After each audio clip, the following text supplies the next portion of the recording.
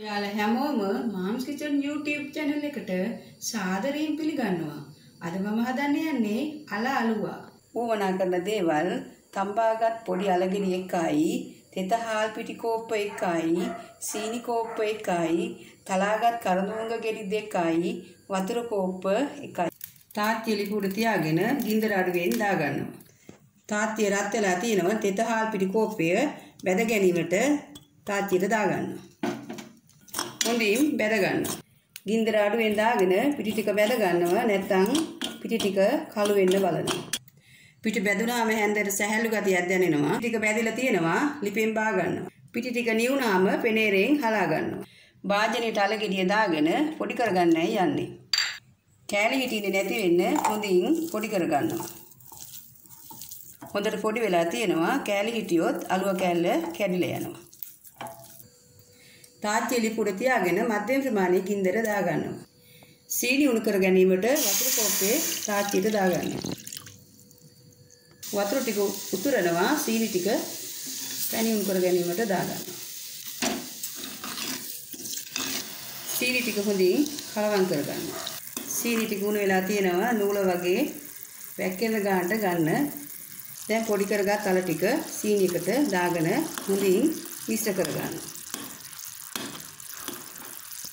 දැන් ඒ නිසා ටික දාගන්න හොඳට මිශ්‍ර කරගෙන ඉපෙන් බා ගන්නවා.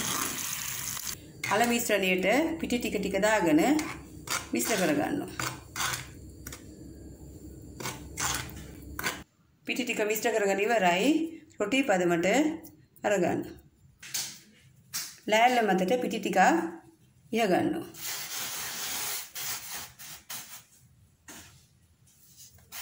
දැන් මිශ්‍රණය ලෑල්ල මතක දාගෙන තුනී කරගන්න.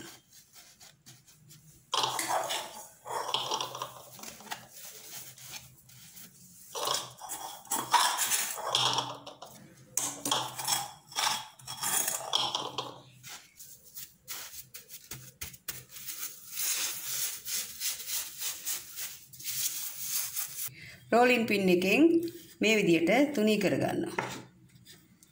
කෑලි කපා ගන්නවා.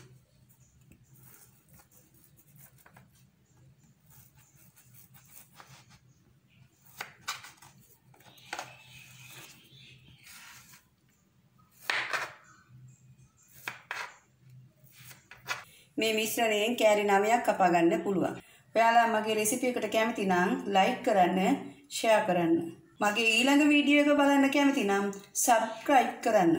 සබ්ස්ක්‍රයිබ් කරාට මදි වීඩියෝ එකත් බලන්න